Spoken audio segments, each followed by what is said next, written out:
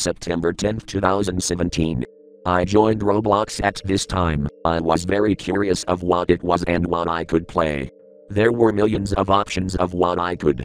Later I searched about Roblox and found out it was created in 2004 and came in public in 2006. I liked the game so much, I couldn't stop playing. There always were the good, half and bad moments. One time I found a noob on Roblox High School, and then I decided to troll him. He got angry and reported me.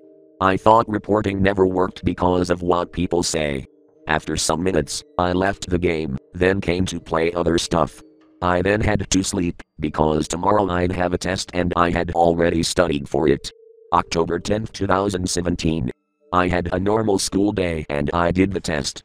I wanted to play Roblox again, so I logged into my account, and I got terminated for trolling the guy from yesterday. So I made another account, then played for a long time.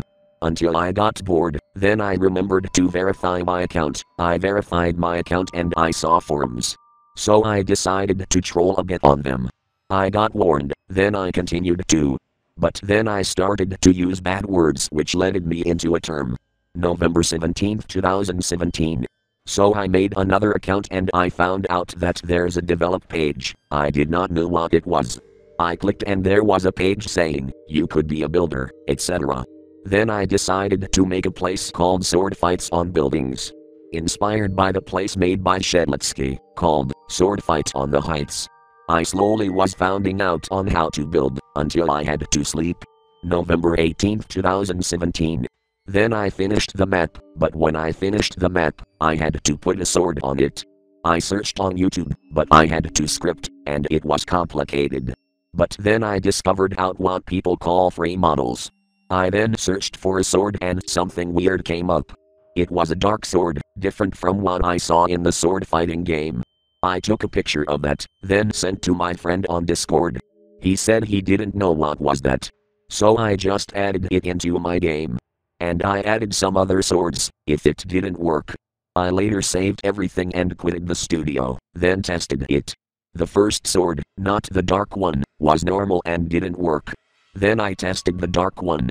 It was a bad mistake. A lot of scary images popped up with scary and loud sounds like screams, ghost whispers, etc. But it was only for some seconds, maybe just for one, two, or three seconds. Then it all stopped and I got teleported to a place called Hell. It wasn't scary nor creepy, but it was confusing, until I remembered what I did in the first day I joined, but I wasn't sure. Then I thought, is it him? Then I searched up some videos with this place name. For some weird reason, the first video I saw was being bullied in Roblox High School. It showed some person in a 2.0 package mocking a new player. When I watched the entire video, I remembered it was his name and he could seek revenge now. Later, I came up in my place, I put the dark sword in workspace and I tried deleting it, but I just deleted some stuff. The sword, when I wasn't playing in studio, it moved in a building. I tried removing it from there.